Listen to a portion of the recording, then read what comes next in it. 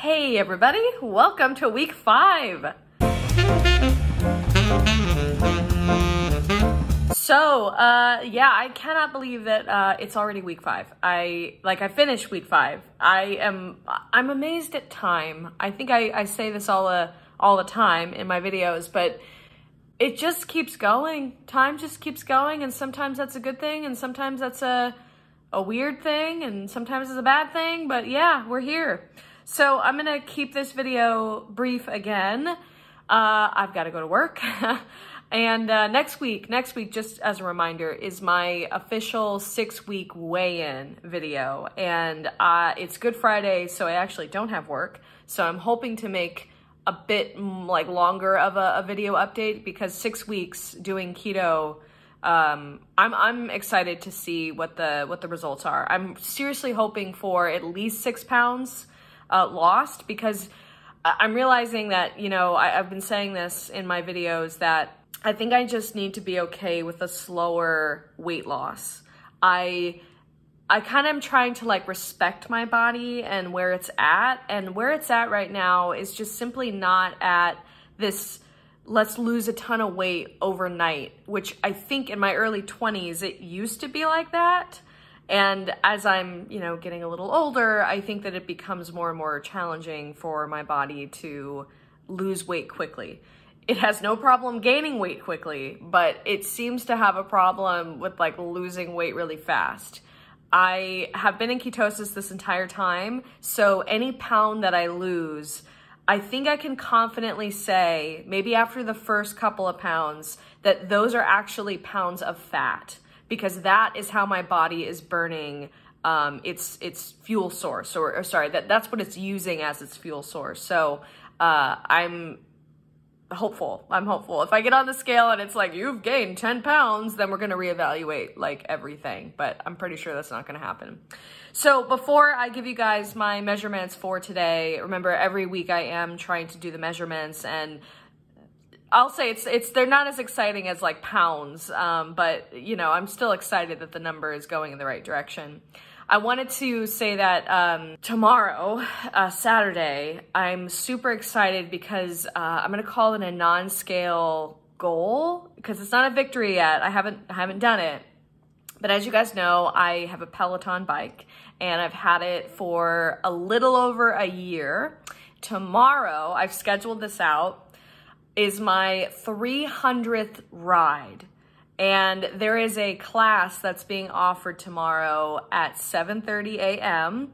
And it's a 75 minute power endurance ride with one of my favorite Peloton coaches. So for those of you who don't know, if you uh, if you have a Peloton, you have the option of doing these live rides where you, you're riding with others around the world, basically, and you can see them on like the leaderboard, or you have the option of doing pre-recorded uh, rides. And typically I do the pre-recorded ones just because my schedule doesn't align with the live, you know, um, schedule.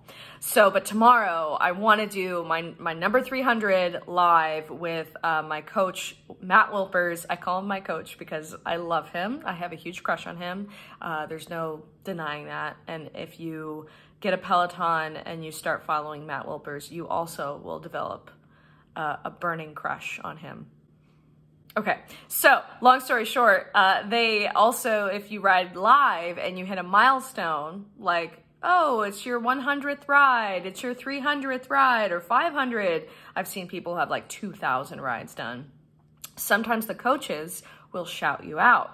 So my username is Redhead Rider, and I'm so hoping that Matt, because we're gonna be together for 75 long minutes tomorrow morning, yeah, I'll be competing with like 2,000 other people writing, but um, I'm so hoping that he sees my name and he shouts me out and I will record that for everybody. So that's a non-scale uh, goal. And hopefully by the next time I make the video next week, I can confidently tell you guys, you know, how, how it went.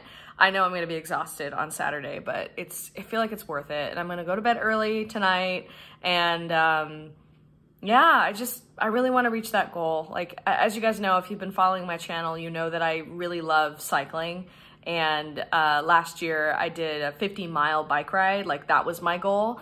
And, uh, and these are not related to weight loss, right? I did that goal when I was, I think I was like 172 pounds or something like that. So, um, it was just a goal that I had like a fitness goal. And so that's what how I see tomorrow. It's a fitness goal. Okay, so measurements. Another perfect week, basically. I do, you know, want to reiterate that. Um, I had a couple of work socials where I wasn't tracking, but everything was keto friendly that I that I ate, and there was even this like, oh, God, there was so much like dessert that I just said no to. I, I went for the fruit that I can't have on keto, like the berries and the strawberries, and um, there was this like crusted salmon like it was crusted with something sweet. So I got the salmon. I was like, I have to take off the top of this because I don't know what it is. And I accidentally like put some of it in my mouth and I was like, oh my God, that's like pure sugar. Like that is such a good idea to put on salmon, but I can't have this. So uh, I think I did fairly well, but uh, there was just one day where I didn't like track, um, you know, the what I was eating. So um, either way, I think that's fine. I was still in ketosis the next day.